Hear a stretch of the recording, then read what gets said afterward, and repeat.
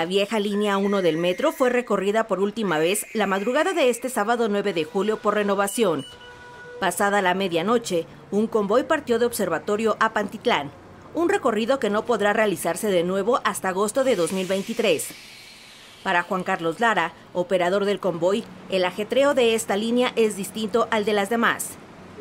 Tenemos un poco de nostalgia porque durante mucho tiempo he recorrido esta línea y el saber que, pues ya la van a modernizar pues nos da nostalgia, nos da un sentimiento, es algo especial hacer esta última vuelta, este último recorrido pues es algo especial. Pues he trabajado en diferentes líneas del sistema, casi en la mayoría, y esta en particular pues es una línea muy, este, muy larga, es donde estamos casi el mayor tiempo los conductores a bordo de un tren.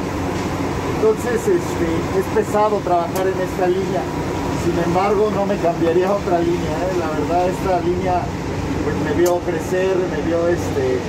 Aquí llegué como conductor y pues no, no me cambiaría por nada de esta línea. Tiene algo especial esta, esta línea. La línea rosa, inaugurada el 4 de septiembre de 1969, conecta con otras nueve, además de cuatro del Metrobús y cuatro del sistema de transportes eléctricos. La línea 1 suspenderá sus operaciones entre Pantitlán y Salto del Agua a partir del 11 de julio, y así se mantendrá a lo largo de ocho meses.